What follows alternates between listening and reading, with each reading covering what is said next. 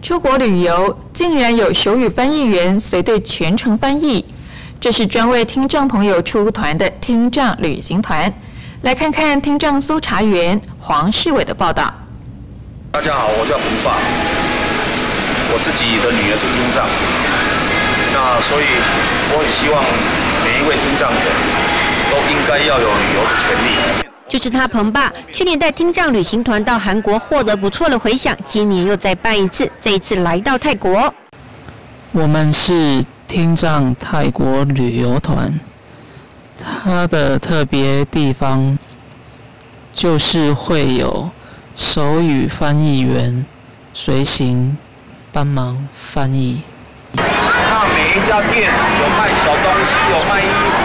经过彭爸和手艺员的介绍之后，团员们玩得更尽兴，而且彭爸还会带大家体验泰国特有的文化，像这个飞天空心菜，听障朋友莫玉伦就玩得很过瘾，玩得非常开心，很棒。